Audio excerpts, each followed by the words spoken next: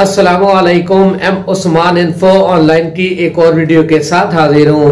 दोस्तों, जैसा कि मैंने एक ट्रेंड शुरू किया हुआ है कि आप लोगों के वो कमेंट जिसके अंदर कुछ ऐसी बात होती है जो कि ज़्यादा आदमियों तक पहुंचानी ज़रूरी होती है तो वो कमेंट मैं पिक करके, अगर एक कमेंट होता है या मुख्तलिफ़ किस्म के मिलते जुलते कॉमेंट्स होते हैं तो मैं उनको पिक करके आपके लिए एक वीडियो बनाता हूँ और अपलोड कर देता हूँ। तो अगर आप भी ऐसी कोई बात जानना चाहते हैं और उसके बारे में आप पूरी इंफॉर्मेशन लेना चाहते हैं, यानी कि वीडियो की सूरत में तो आप भी मुझे किसी भी वीडियो के अंदर जो कमेंट सेक्शन होता है, वहाँ पर कमेंट करके आप मुझसे वो चीज़ पूछ सकते हैं। इनशाला मैं उस चीज़ के ऊपर भी वीडियो बना दूँगा। तो यहाँ पर दोस्तों, जो कॉमेंट मैंने पिक किया है, ये वो आदमी जो कि कोरोना के बायस बहुत लोगों को यूएई के अंदर मुख्तलिफ़ किस्म के जुर्माने हुए हैं और कुछ लोग ऐसे भी हैं जिनको पहले से जुर्माने हैं और यूएई के अंदर अभी तक वो मौजूद हैं। तो ऐसे लोगों के लिए है कि क्या यूएई के अंदर एक कंपनी में रहते हुए जुर्माना अदा किए बगैर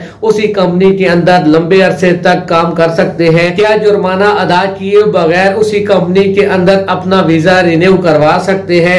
तो इस वीडियो में आप आपको इस हवाले से गाइड करूँगा। वीडियो पसंद आए लाइक ज़रूर करें और अपने फ्रेंड्स के साथ शेयर भी कर दें। मेरे चैनल के ऊपर नए आए हैं, सबसे पहले इसको सब्सक्राइब करें और साथ में बेल आइकन को भी इनेबल कर दें ताकि इसी किस्म की मजीद मालूमती वीडियोज़ आपको पहुँचती रहे।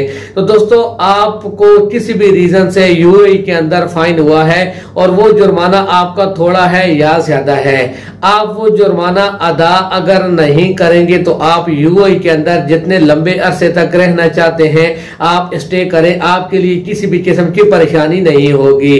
बीच में अगर कोई ऐसा टाइम आता है कि यूएई गवर्नमेंट जुर्मानों की मुआफी का ऐलान करती है या उसके अंदर किसी भी किस्म का डिस्काउंट का ऐलान करती है तो आप कोशिश यही किया करें कि ऐसी सूरत में आप अपने जुर्माने मुआफ करवा लिया करें। या अगर कुछ हद तक डिस्काउंट हो सकती है तो आप डिस्काउंट करवा लिया करें। लेकिन अगर ऐसा कोई अनाउंसमेंट सामने नहीं आती और यूएई के अंदर आपको जुर्माना हुआ है, वो बाकायदा आपके रिकॉर्ड पर मौजूद है तो आपके लिए यूएई के अंदर रहने में प्रॉब्लम बिल्कुल भी नहीं होगी। यानी आप जिस कंपनी के अंदर मौजूद हैं, उस कंपनी में जितनी बार आप वीज़ा रिन्यू करवाएँगे, आपके लिए परेशानी नहीं बनेगी। आपके वीज़ा रिन्यूअल के टाइम दोस्तों, आपके लिए कोई मसला नहीं बनेगा। बल्कि अगर आप एक कंपनी चेंज करके दूसरी कंपनी में वीज़ा लगाते हैं तो दूसरी कंपनी में भी जब आप वीज़ा लगा लेंगे तो आपके वो जो जुर्माना है, वो आपको वहाँ पर भी तंग नहीं किया जाएगा।